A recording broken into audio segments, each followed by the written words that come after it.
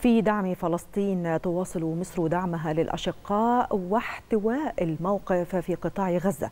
في هذا الإطار زار سفير دولة فلسطين في القاهرة دياب اللوح محافظة شمال سيناء لمتابعة الدور الكبير الذي تقوم به مصر لرفع المعاناة عن الفلسطينيين. وفي هذا السياق استقبلت مصر المساعدات المتنوعة لصالح قطاع غزة عن طريق البر والبحر والجو إضافة إلى استقبال الجرحى والمصابين وعلاجهم بالمستشفيات المصرية بجانب تخصيص عدة عمارات سكنية بالعريش لاستضافة العالقين.